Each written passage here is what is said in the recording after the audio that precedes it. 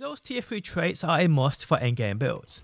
They are something you will eventually come to to buff your player to make them as powerful as possible, but firstly you need to obtain these tier 3 traits. And well today guys I bring you a simple method in getting what you need in regards to those specific tier 3 traits.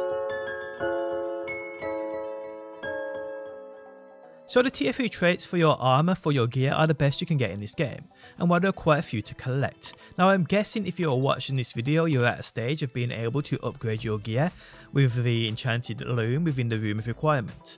This requires you to progress the main story until you come to a quest for Professor Weasley called the Room of Requirement. This opens up the Room of Requirement for you. Then you need to progress Deek's quest, the Elf, the Knapsack and the Loom. This quest opens up your Vivarium where it teaches you about catching beasts and using them for those materials. Materials you need to craft traits for your gear. And well from here you're more or less ready to start. Okay, so tier 3 traits are tied to a couple of things, either challenges or locked behind a certain chest, a chest I call a trait or ornate chest.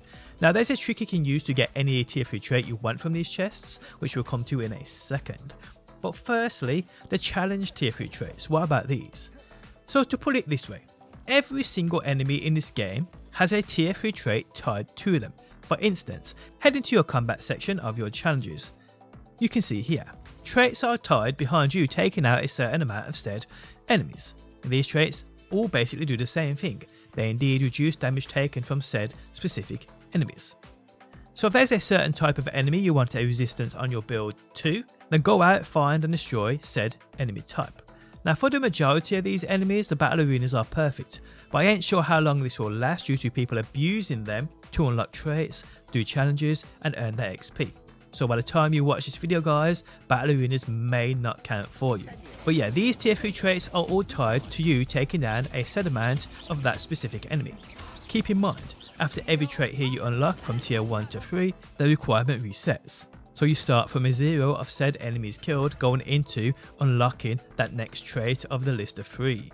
Now there's another set of traits called the Ancient Magic traits. This increases their ancient magic damage and they're pretty potent. These are unlocked via you upgrading gear. Now if you want the shortest and cheapest route possible doing this, upgrade different blue gear pieces. Otherwise, it's going to get quite expensive just to unlock said traits. It's going to run down your materials. You obviously upgrade your gear within that enchanted loom. So if you have spare blues, people, upgrade these. They will require a certain material from a certain beast. Catch a few of these critters, bring them back, raise them, harvest those materials. Simple. Now more or less every other trait in this game, where traits are tied to spells, these traits come from those ornate chests found around the open world, and to spot them guys it's real quite simple. On your map look for these bandit camps, size of the camps does not matter. Go to these camps and clear out camps of said enemies. You'll then be free to locate that chest and get that trait. Now there's a trick here you can use to get the trait you want. So if there's a specific spell you want to improve via a trait applied to your gear, you can use this to get said trait for your building needs. So before you open that said chest, make a manual save. Then open that chest. If the trait isn't the one you want, simply load that save you just made and open the chest again. Repeat this process guys until you get said trait. Now keep in mind, if you haven't opened many of these chests, then trying to get a specific trait you want may take you a while, because there will be more in the loot pool for you to get, and don't forget these traits come in at level 1, 2 and 3.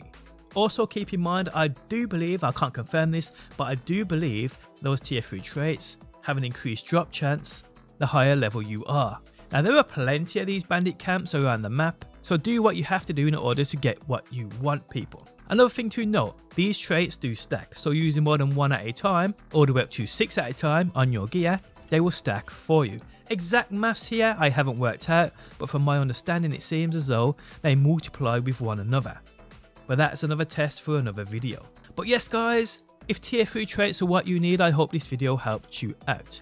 If you did, leaving a like really helps me out. If you're new around here and want to see more Hogwarts Legacy, be sure to subscribe and hopefully guys, I will see you on that next one.